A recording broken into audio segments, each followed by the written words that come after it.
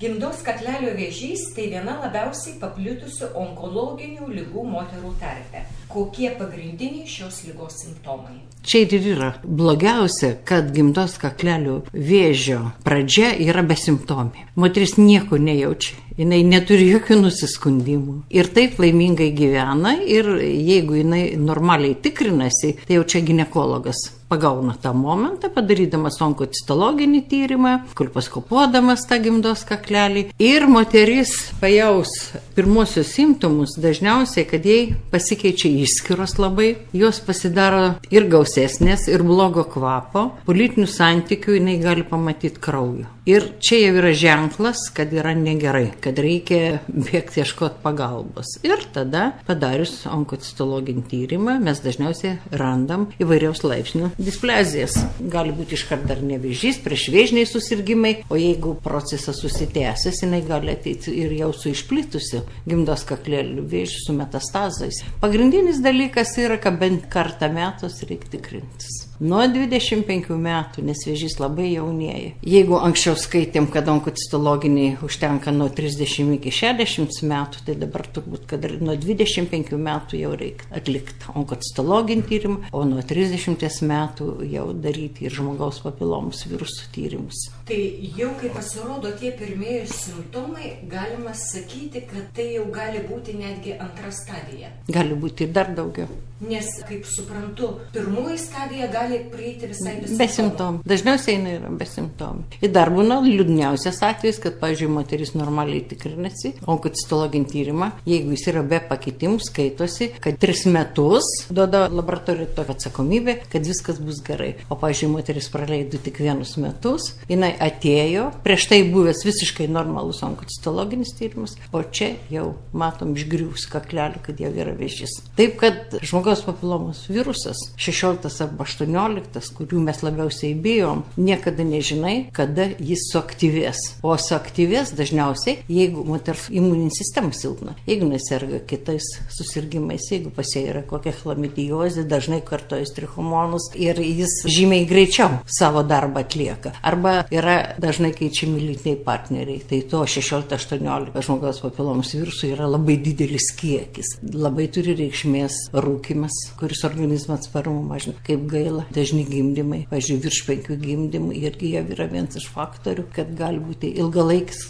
sudėtinių kontraceptinių tablečių naudojimas irgi turi reikšmės. Ir aišku, svarbiausia tai yra lytinis gyvenimas, kad jis prasidėtų kuo vėliau. Pas mūsų anamnezėje yra toks klausimas - lytinio gyvenimo pradžia. Jeigu paskutinį dešimtmetį, sakydavau, 17-18 metų, tai dabar 15-13 jau yra. Tai reiškia labai anksti jaunimas gyvenimas pradeda, o pagal tai gali spręsti, jeigu jinai nuo 13 metų pradėjo lytinį gyvenimą, jeigu dabar kokie 25, tai tų partnerių jinai turėjo nemažai. Tokio tiesiogin klausimų, kiek partnerių buvo jūsų gyvenime, aš asmeniškai neklausiu, nes aš sprendžiu pagal tą. Ir vėl apie lytinio gyvenimo kultūrą, apie ištikimybę šeimoje. Nu, taigi juokasim, Lietuvoje paklaustum, kaip yra su ta ištikimybė. Jeigu, daleiskim, televizorių žiūri ir eina kalba kažkokia apie šeimą, sėdi poras ir jos pasako pasakoja labai gražiai. Bet jeigu tu tą šeimą pažįsti, pats juokiesi atsisėdęs. Nu viskas ir netiesa. A gerai ar blogai, vieniems lytinio gyvenimo yra per daug, kitoms jo nėra, vėl yra didžiulė bėda. Kada moteris lytinį gyvenimą sapnuoja ir orgasmą patiria sapnuose, nu tai čia vėl tragedija, tai čia jau yra kitų lygų bėdos.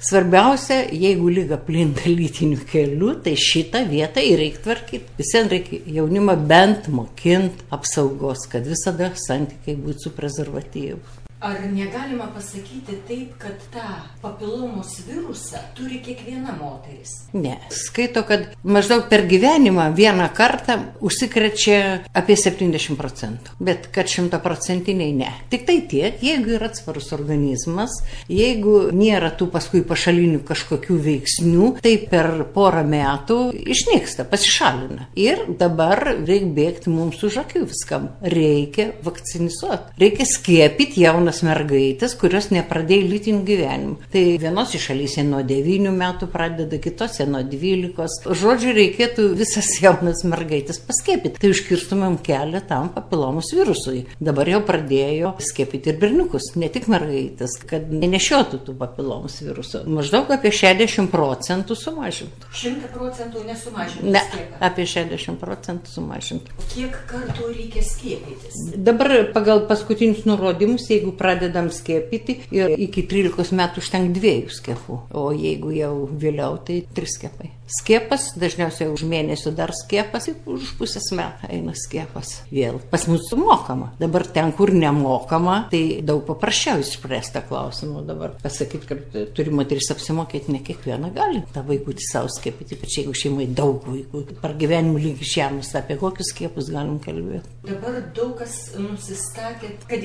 skiepai turi šalutinį poveikį. Šitie skiepai turi kažkokį šalutinį poveikį.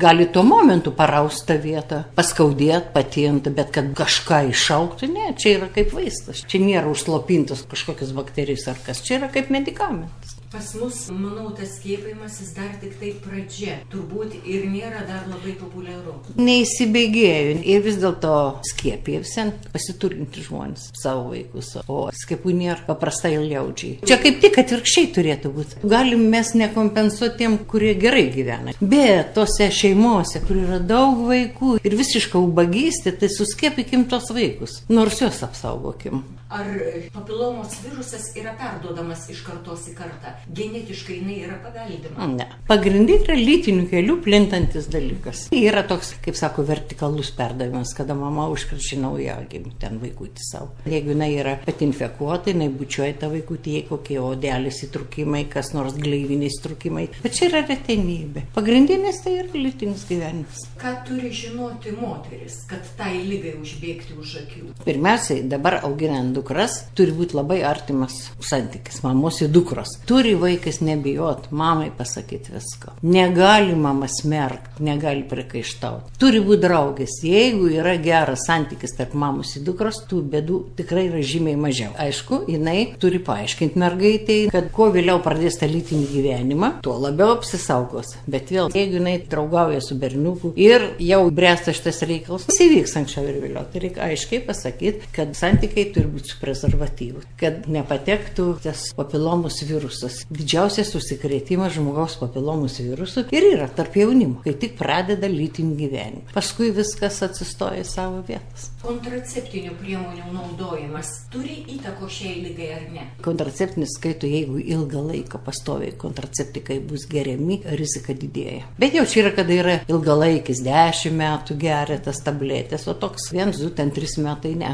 Galima padaryti išvadą, kad jos silpnina imunitetą. Taip, imunitetą. Pagrindinis dalykas yra, kad moteris eitų tikrintis. Nu dabar yragi nuo 30 iki 60 metų tas onkocitologinis įmamas kas 3 metai. Nu bent tą pasidarykit. Bent jau ant kelių užeis, nebus taip žiauru. Iššoks pavieniai atvejai, bet nebus taip masiškai. Su kakleliais Lietuvoje yra labai labai blogai. Sakot, kas 3 metai. Bet, Bet kai būtų geriau. toksai yra nenuspėjamas, tai gal kas metai reikia daryti. valstybė neapmokės tiek. Privačioj taip, jeigu aš turiu ponės, kurios ateina, pastoviai tikrinasi ir tikrai jos gali mokėti, paprasčiausiai pasakai, jeigu galit, nu ateikit vieną kartą metus ir pasidarykit skistoj terpė onkocitologinį. Tikrai nepramesim.